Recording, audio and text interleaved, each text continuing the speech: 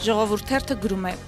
Սեպտեմբերի 27-ից Արցախում սկսված պատերազմից 19 օր է անցել, սակայն հարցի կարգավորման քաղաքական տարբերակին հասնելու եզրերն այդպես էլ չեն երևում։ Եվ չնայած ԵԱԿ Մինսկի խումբը անդամ հանդիսացող Ռուսաստանի Դաշնությունը քայլեր են անում հարցի խաղաղ կարգավորման ուղղությամբ, սակայն առնվազն այս փուլում པարզ է, որ ներկա պահին արկա լուծման տարբերակներին կոնֆլիկտի կողմերը չեն համաձայնում։ Իսկ որոնք են դրանք։ Երեք մի քանի լրատվամիջոցների հետ զրույցում Ռուսաստանի Դաշնության արտաքին գործերի նախարար Սերգեյ Լավրովը հիշեցրեց Ղարաբաղյան խնդրի կարգավորման տարբերակ տարբերակ, որը նկատենք նախկինում ստացել է Լավրովյան ծրագիր անվանումը։ Իհարկե քաղաքական կարգավորումը հնարավոր է։ Այն առաջարկները, որոնք համանախագահները մշակել եւ շարունակում են մշակել, մնում են բանակցությունների սեղանին, դրանց բովանդակությունն արդեն հայտնի է։ Դա Ղարաբաղի շուրջ շրջաների փուլային աստիճանական ազատագրումն է Ղարաբաղի անվտանգության երաշխիքների պահպանմամբ եւ մինչեւ Ղարաբաղի վերջնական կարգավիճակը որոշելը Հայաստանի եւ Ղարաբաղի միջև հուսալի կապի ապահովմամբ, նշել էր Լավրովը։ Նրա այս հայտարարությունից ժամեր անց Հայաստանի Հանրապետության վարչապետ Նիկոլ Փաշինյանն ուղերձ ցղեց ժողովրդին եւ նաեւ ներկայացրեց այն ժառանգությունը, որը ստացել է Ղարաբաղյան կոնֆլիկտի մասով։ Ըստ էության մերժելով նաեւ վերը քաշված տարբերակները, որոնք տարիներ շարունակ քննարկվել են։ Ղարաբաղի արցի բանակցային գործընթացում Ադրբեջանը քայլ առ քայլ հասել էր մի կետի, որտեղ ըստ էության հայ ժողովրդի Ղարաբաղի հանրության առաջ դնում էր սեփական իրավունքներից հրաժարվելու պահանջ։ Այդ պահանջի էությունը հետևյալն էր. անհապաղ Ադրբեջանին հանձնել 7 տարածքներից 5-ը ներկայացնել մնացյալ երկու տարածքները հանձնելու կոնկրետ ժամանակացույց եւ արձանագրել նշել, որ Լեռնային Ղարաբաղի որևէ կարգավիճակ պետք է լինի Ադրբեջանի կազմում։ Մեր կառավարությունը, որը բանակցային այս բազան ստացել էր որպես ժառանգություն կամ ավելի ճիշտ բանակցային հանգրվան, ըստ էության հրաժարվեց նման ձևով հարցի քննարկումից, որովհետև դա անընդունելի էր։ Հայաստանի Հանրապետության վարչապետ Նիկոլ Փաշինյանն իր խոսքում ընդգծեց, որ Ադրբեջանի քաղաքական ղեկավարությունը եւս կողմ է եղել փուլային տարբերակին։ Նկատենք Ադրբեջանի նախագահ Իլհամ Ալիևը 2020 թվականի մայիսի 29-ին մասնավորապես նշել էր. Այսօր բանակցությունների սեղանի շուրջ քննարկվում է հենց փուլային լուծումը։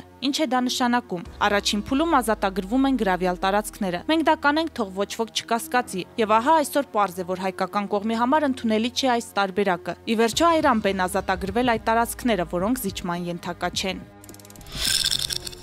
Փաստերթը գրում է. Թե միջազգային լրատվամիջոցներում, թե տարբեր ուժային կենտրոններից գնալով հաճախակի են հնչում հաստատումներ եւ փաստեր, որ Թուրքիան Արցախի դեմ պատերազմելու համար Ադրբեջան է ուղարկել մեծ քանակությամբ վարձկանահաբեկիչներ։ Տարածաշրջանում ահաբեկչական խմբերի արկայությունը սկսել է մտահոգել տարբեր պետությունների, ակնհայտ է, որ հայ ժողովուրդը ներկայումս դարձել է ահաբեկչության դեմ պայքարի առաջամարտիկ։ Միևնույն ժամանակ անընդհատ տեղեկություններ են շրջանառվում ահաբեկիչների բավական մեծ քանակով սպանվելու մասին։ Մյուս կողմից տարբեր լրատվամիջոցներ հայտնում են, որ սիրիացի վարձկաններն այս օրերին արդեն հրաժարվում են մեկնել Ադրբեջան, քանի որ այնտեղ գտնվող նրանց գաղափարակից եղբայրները տեղեկություններ են փոխանցել, որ Ադրբեջան բերված ահաբեկիչները կամ ոչնչացված են կամ այնպիսի վիճակում են, որ որևէ գործողության այլևս պիտանի չեն եւ ոչնչացվածի հաշիվ են։ Այդուամենայնիվ Թուրքիան շարունակում է ջանքերը ահաբեկչական այլ խմբեր տեղափոխելու համար, ինչը նշանակում է, որ բացի ահաբեկչական խմբերի մնացորդներից նորանոր վարձկաններ են տարածվում տարածաշրջանում վտանգ ներկայացնելով ոչ միայն Արցախի ու Հայաստանի, այլև տարածաշրջանի այլ երկրների համար։ Իդեպ ռուսական լրատվամիջոցները երեք հայտնել են, որ ահաբեկիչների հետ կնքում են կես տարվա պայմանագիր։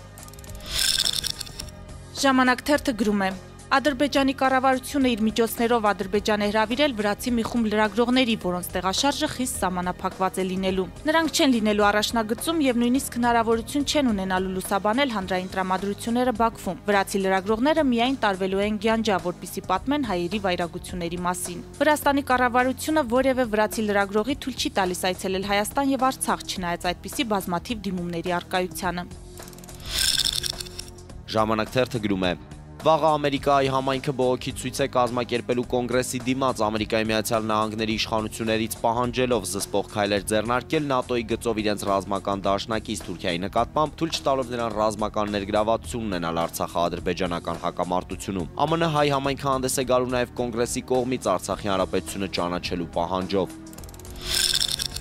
Հրապարակ թերթը գրում է. Վարչապետ Նիկոլ Փաշինյանը երեք իր ուղերձում ի թիվս այլ հարցերի հայտարարեց նաև թե բանակցային այդ ֆորմուլան տարածքներ ոչ թե կարգավիճակի այլ խաղաղության դիմաց ինքը ժառանգություն է ստացել նախկիներից, բայց իրենց կառավարությունը հրաժարվել է դրանից նախապատվությունը տալով նաև Արցախի կարգավիճակին։ Այս հայտարարությունը կրքեր է բորբոքել նախկին իշխող ուժի Հայաստանի Հանրապետական կուսակցության ներսում, անգամ տեղեկություն կար, որ չեն պատրաստվում անարձագանք թողնել եւ հենց երեք հանդես կգան հայտարարությամբ, հիշեցնելով Սանկտ Պետերբուրգում եւ Վիեննայում ձեռք բերված պայմանավորվածությունները ծրագրերը, սահմանին հետաքնող մեխանիզմների տեղադրման հետ կապված, որոնք էականորեն կփոխեին իրավիճակը, եթե պահպանվեին։ Պատահական չէ, որ ՀԿ-ականները երեք հրաժարվում էին մեկնաբանել վարչապետի ուղերձը, իսկ ազգային ժողովի նախկին նախագահ Սամվել Նիկոյանն էլ թերթի հետ զրույցում տեղեկացրել է։ Ամենայն հավանականությամբ կուսակցությունը հայտարարությամբ հանդես կգա, բայց հայտարարություն մինչև օրվա վերջ այդպես էլ չհրապարակվեց։ Թերթը տեղեկացել է, որ ՀՀԿ-ում քննարկումների արդյունքում եկել են եզրահանգման, որ դրա ժամանակը չէ։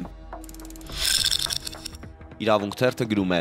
Չէ, Իլհամ Հեյդարովիչի լկտիության պակասի մեջ հաստատ չես մեղադրի։ Համենայն դեպս հենց դա է նշանակում, երբ նա փորձում է հերքել մի բան, որն ընդունել են բոլոր երկրները, ընդ որում պաշտոնական մակարդակով։ Խոսքն Արցախյան պատերազմին Թուրքիայի ուղիղ ներգրավվածության մասին է, այդ թվում սեփական զինվորականների եւ ներկրված ահաբեկիչների տեսքով։ Իսկ ահա Ալիևը շարունակում է պնդել, որ Թուրքիան Ղարաբաղի գործընթացին մասնակցում է միայն քաղաքական հարթություններում։ Թուրքիայի ռազմական մասնակցությունը չկա, մենք օգտագործում ենք Թուրքիայում արտադրված ռազմական սարքավորումները, դա ճիշտ է, սակայն մենք օգտագործում ենք նաև Ռուսաստանի արտադրության, Իսրայելի այլ երկրների արտադրության ռազմական սարքավորումներ։ Ի տարբերություն Հայաստանի, որն անվճար է ստանում, մենք գնում ենք ռազմական սարքավորումներ, Թուրքիան ոչ մի կերպ չի մասնակցում գործընթացին բացառությամբ քաղաքական հարթության։ Այստեղ թուրքական զորքեր չկան, հայտարարել է Ալիևը France 24 հեռուստաալիքին տված հարցազրույցում։ Ինչ վերաբերում է Ադրբեջանի տարածքում գտնվող թուրքական F-16-ներին, որը հերքելը պարզապես անհնար է, Ալիևը սա է մոգոնել։ Այնպես է ստացվել, որ զորավարժություններից հետո տեղի են ունեցել ներկա բախումներ։ Այսպիսով մենք որոշել ենք F-16-ը թողնել երկրի վրա եւ նրանք գտնվում են հողի վրա, այլ ոչ թե օդում, հայտարարել է Ալիևը։